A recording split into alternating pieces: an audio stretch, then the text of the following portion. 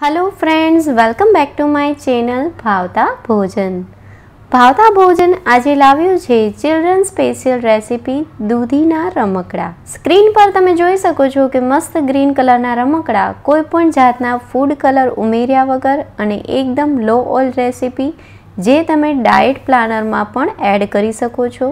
તો ચાલો રેસીપીની શરૂઆત કરીએ. સૌ પહેલાં તો એક મોટી મિક્સર જારમાં હાફ કપ જેટલી દૂધી કાપીને લીધી છે.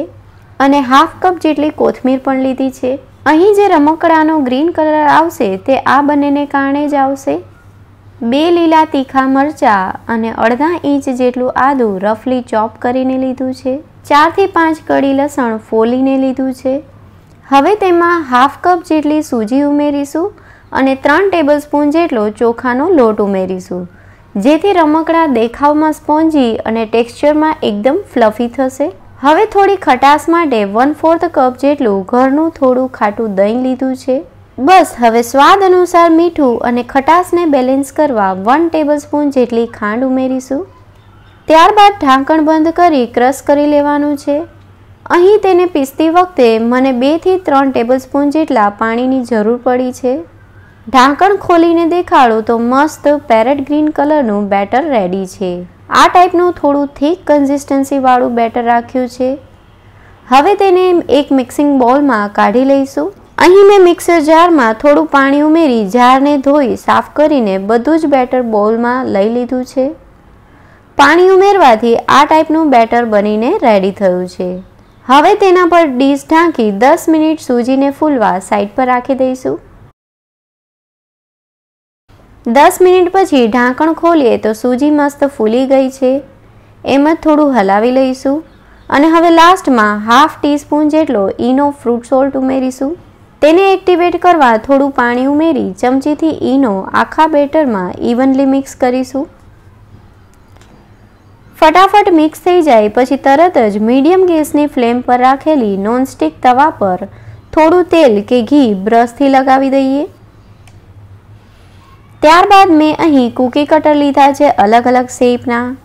જેમ કે હાર્ટ, સ્ટાર, ફ્લાવર અને રાઉન્ડ શેપ. તે બધાને આ રીતે નોનસ્ટિક તવા પર મૂકી દઈ તેમાં તૈયાર કરેલ બેટર ચમચીથી ઉમેરીશું.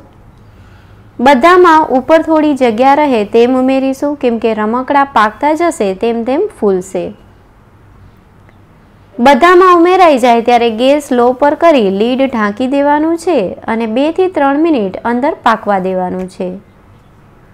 ત્રણ મિનિટ પછી ઢાંકણ ખોલો એટલે રમકડા મસ્ત પાકી ગયા છે. અહીં તેના પર આંગળીથી ટચ કરો તો બેટર ચોટતું નથી, મતલબ કે મસ્ત પાકી ગયા છે. હવે તેને આ રીતે ચમચી અને ભાતના ચમચાથી ઉઠાવી લઈ ઠરી જાય પછી અનમોલ્ડ કરી દઈશું. તો અહીં એક રાઉન્ડ રમકડું તૈયાર થઈ ગયું છે. નીચેની બાજુ પણ મસ્ત બ્રાઉન કલર આવ્યો છે. ઉપરથી ગ્રીન અને નીચેથી બ્રાઉન બંને બાજુથી બ્યુટીફુલ દેખાય છે. એ જ રીતે ફ્લાવર શેપ પણ તમને બતાવી દઉં, નીચેથી બ્રાઉન અને ઉપરથી ગ્રીન. હાર્ટ શેપ અને સ્ટાર શેપ પણ બ્રાઉન કલરમાં મસ્ત દેખાય છે. અહીં તમારી પાસે આવા કૂકી કટર ના હોય તો તમે ડાયરેક્ટલી તવા પર જ ચમચીથી રાઉન્ડ શેપ્સના રમકડા બનાવી શકો છો, જે ફટાફટ અને ઇઝીલી બહુ બધા બની જશે. બસ, તો મેં આ જ સેમ પેટર્નથી બધા જ રમકડા બનાવી લીધા છે. આ રમકડા સોસ કે ચટણી સાથે અથવા તો ચા દૂધ કોફી સાથે પણ લઈ શકાય. એક રમકડું તમને તોડીને દેખાડું તો એકદમ સોફ્ટ અને સ્પોન્જી બન્યું છે.